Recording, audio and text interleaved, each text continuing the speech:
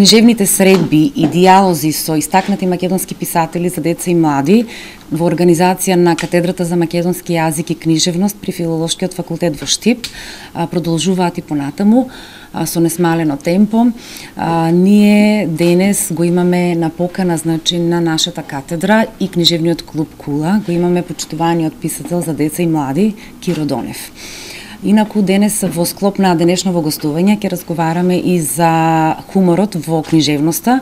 Воопшто, меѓутоа, по-конкретно ќе зборуваме за хуморот во книжевноста за деца и млади.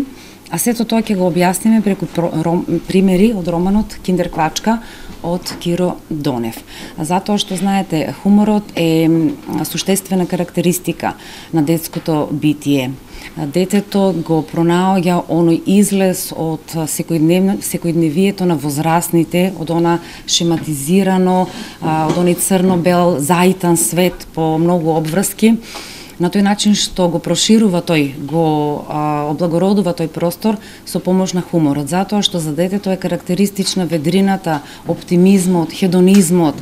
Па од тие причини сметаме дека предностите од користењето на хуморот во наставата а, може да бидат многу големи во смисла на потикнување на нивните креативни капацитети, нивните размислувања, склопување нови пријателства и така натаму. А, заради тоа што наставниците, а нашите студенти се идни наставници, треба да најдат начин како да го вклопат тој хумор во наставата, од причина што доколку не можеме да го контролираме хуморот в надвор од училиштето, тогаш ние мора да се обидеме стресот надвор од училиштето, ние мора да се обидеме да го контролираме стресот што го имаат учениците во училиштата под влијание на разни тестирања и така натаму. Од тие причини денес се на, се обидуваме на нашите студенти да им го доближиме да им ја доближиме оваа тема преку делото на Киро Донев. Само во моментов студенти од филолошкиот факултет од прва до четврта година. Има интерес? Да, морам да кажам дека има многу интерес. Јас го предавам предметот книжевност за деца и на вистина морам да истакнам дека студентите ги читаат сите книги кои што им се како во по програма, па дури читаат и она што е вон програма по моја препорака и, и самите дури и творат.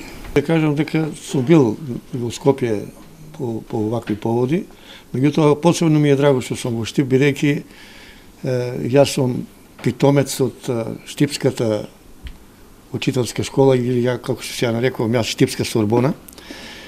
И иако поредко доаѓам по, по вакви поводи во Штип, меѓутоа со мислите постојано сум овде, бидејќи тука моето на некој начин подоцнежно детство тука мина во интернатот во, во Штип што се наоѓа тука во Штипско ново село, позади таму кај гробиштата, а и тука почнав да ги правам и првите чекори во литературата.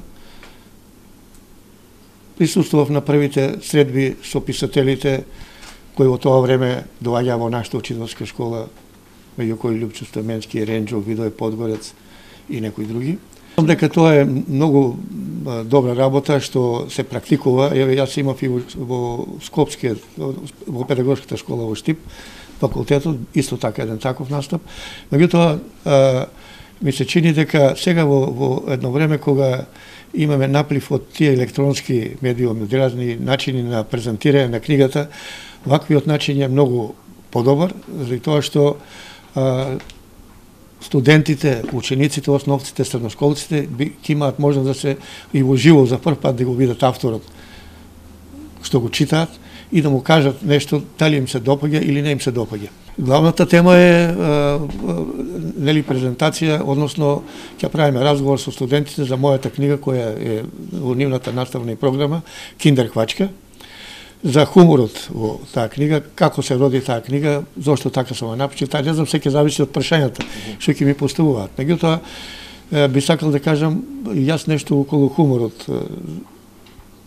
Ми се чини дека не само децата, па еве и овие младинци се уште не зачекориле длабоко во, во животот што се вели, ќе има доволно време до крајот на животот да се нервираат за една или за друга работа, па јас се трудам на некој начин преку не бирајќи смешни теми, туку она што е во животот што е смешно. Јас понекогаш знам да, да се насмејам и кога нешто е тажно, или да заплачам кога нешто е ептен весело. Се зависи од тоа кој како го сваќа хуморот, а јас сум човек кој не прави конструкција за тоа, туку спонтано што ќе ми дојде така на тоа. Мислам дека особено децата, младите, имаат време кога да тагуваат за нешто, кога да се нервираат и така, сега ми е време да уживаат во ова бучно време, гледате што се случува надвор, загаден воздух, разни настани, актуелни секојдневни, и да ми го направам животот малце повесел, затоа се трудам. Се надевам дека од прашањата што ми постуваат тука. Јас повеќе сите мои дела, во сите мои дела фактички главните јунаци се жителите на природата, дали се тоа дали се тоа животни, дали се тоа инсекти, дали се цвеќиња и така натаму. Оној мал свет покрај кој ние секојдневно минуваме, не го забележуваме, а толку е битен за нашиот обстанок да не употребам сега некоја фраза, мислам, која сите ја повторува, дека си ја сечеме гранката на која што седиме, туку дека едноставно а, како да не гледаме дека еден свет исчезнува пред нашите очи неповратно. И сега ние засадуваме од една страна дрва, садиме дрва, а од друга страна ги палиме шумите, или во природата влегуваме како на трапници, користејќи ја таа неина богата трпеза, како само за нас, без да размислуваме дека треба тоа да остане за оние другите што доаѓаат после нас, и дека не е битно да засадиш едно дрво, туку да треба да се засади, мојата цел е да засадам љубов во срцата на, на децата, на младите, кон природата, тоа е побитно отколку да засадиш едно дрво, за да ја сакат и да ја ценат. А и мислам дека кога децата, кога се раѓаат, место зборот мама, да, го научат зборот природа, многу повеќе ќе ќе ценат она, ќе го ценат она денес што се случило со природата. Оти веќе таа гледате, не не предупредува, таа веќе не казнува на свој начин.